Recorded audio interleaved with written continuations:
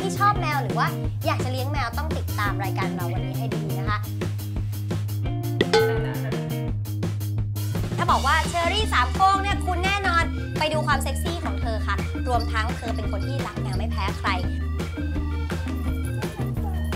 เอาเป็นว่าเปิด YouTube ให้ดูละกันถ้าอยากจะดูสาวไหนน่ะอืมให้เขามาจีบเฉยๆลูกอ่านไหนฉีดโบท็อกซ์น่าจะเดียวน่า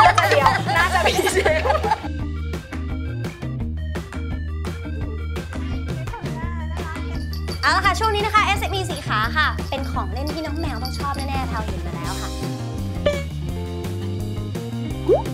คือเราจะทำให้ผู้เลี้ยงกับตัวน้องๆเองได้มีความสัมพันธ์กันใกล้ชิดกันมากขึ้น